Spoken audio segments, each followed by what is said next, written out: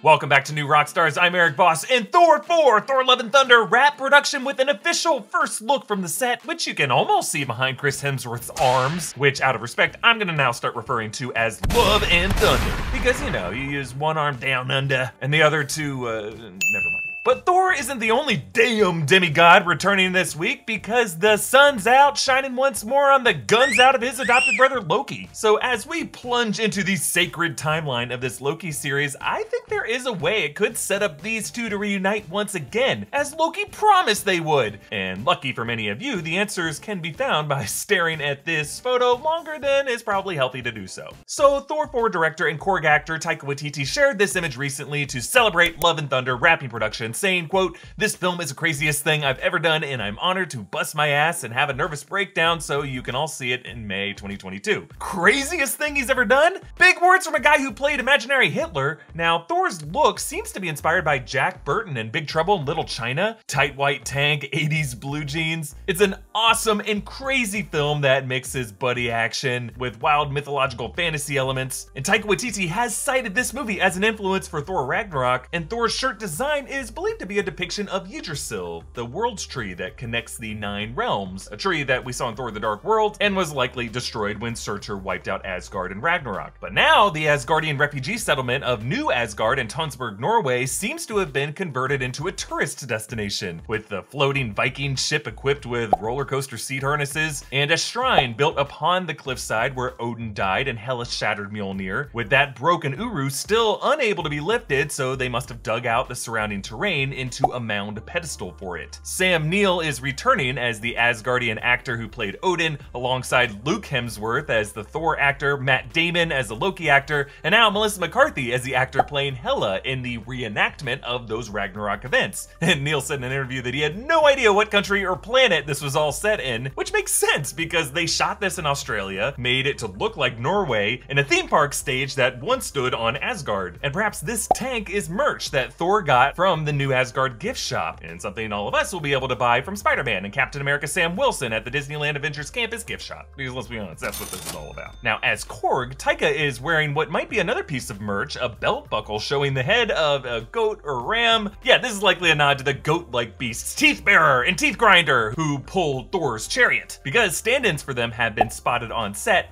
though these also might be just another ride at the new Asgard park, like a kiddie ride that Thor is kind of annoyed at. Now, Korg and Thor Thor are standing on the Benatar, the Asgardian ship. As we know, the Guardians of the Galaxy will be in this movie, and I'm thinking Peter Quill's celestial heritage is gonna mark him as a god alongside Thor that Christian Bale as Gorr the God Butcher has on his kill list. And seeing jacked Thor on this ship brings him full circle since the last time he stood here, he was messing around with Quill over who was gonna be the real captain of the Asgardians of the Galaxy, with Pillsbury Thor Boy giving Quill a look like, oh, soon I'm gonna get back in shape as the true man man, pirate angel who triggered your manhood. I'm muscular. But who are you kidding, Quill? You're one sandwich away from fat.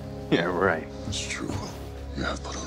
What? But before we continue, thanks to Policygenius for sponsoring this video. If you have anyone relying on your income, you need life insurance. It's that simple. Our sponsor, Policygenius, makes it easy to get life insurance. You can save 50% or more on life insurance by comparing quotes with Policygenius. That's money that you can use to do some fun summer stuff, like take a vacation or build the world's longest slip and slide. But in all sincerity, there are a few things that reduce stress more than having the peace of mind that your loved ones will be taken care of if anything happens to you. You could save $1,300 or more per year on life insurance by using Policygenius to compare policies. Policygenius makes it easy to compare quotes from over a dozen top insurers all in one place. Getting started is super easy. First, head to policygenius.com slash new rockstars. In minutes, you can work out how much life insurance coverage you need and compare personalized quotes to find your best price. And when you're ready to apply, the Policygenius team will handle the paperwork and scheduling for free. The licensed experts at Policygenius work for you, not for the insurance company, so that you can trust them to help you navigate every step of the shopping and buying process. Head to policygenius.com slash new rockstars to get started now. Policygenius. When it comes to insurance, it's nice to get it right. Under Taika's photo, Luke Hemsworth gave an interesting comment saying, It is a joy to watch two people expand in so many ways. None of those ways that you both expanded are healthy, but I still laugh and think, wow, they really expanded. But then I remember I too expanded, and I'm left feeling responsible for expansion on all sides. Bravo, fellas, to infinity and beyond. Just kidding, you look epic. So this is why I think Thor's huge arms are both kind of a jokey meta aspect of the character, but also something that could be part of the plot plot. I mean, sure, Hemsworth is always getting in crazy shape for these movies, and in this case, he's hitting the weights really hard because he's gonna be playing Hulk Hogan soon. But the fact that Thor so quickly bounces back into shape is a reflection of his demigod status. And I think they may go in the direction of Chris Pratt's meta joke in Parks and Rec when he lost a ton of weight to first play Star Lord. Only thing you did was stop drinking beer? Yeah, I lost 50 pounds in one month. How much beer were you drinking? I know, right?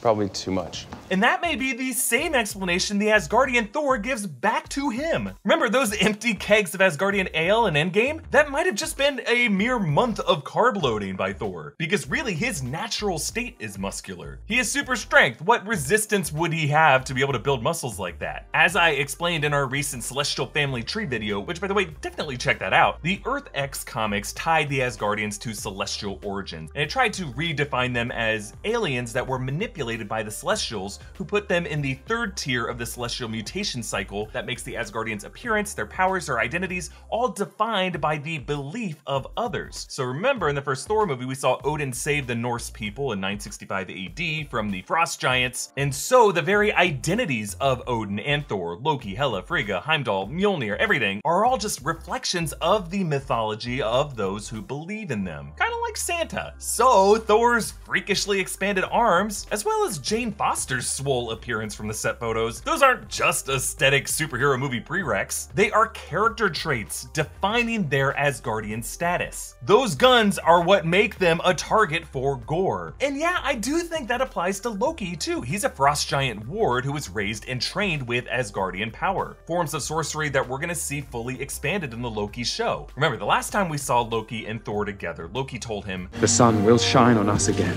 A moment that this Loki series is likely to revisit in that TVA alternate life theater based on Loki's triggered turnaway, probably seeing the moment of his death. And we also know in the show that Loki will say, Brother, Heimdall,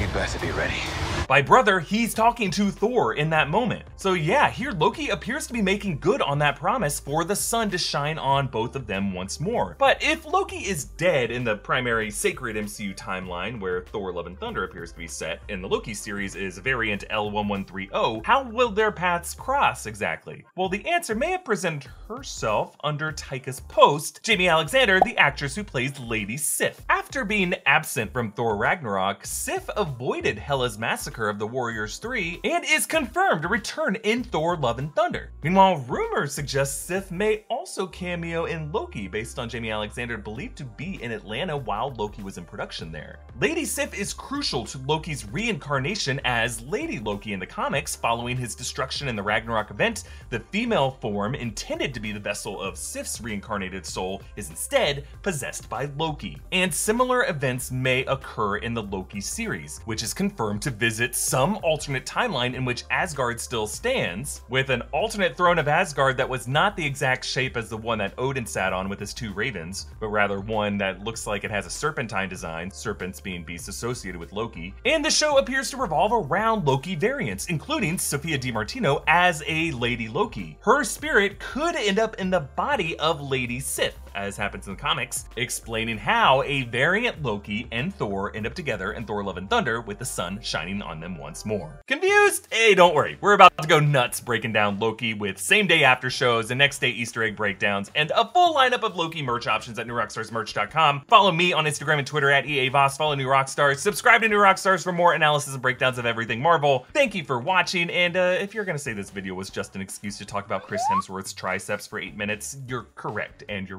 welcome.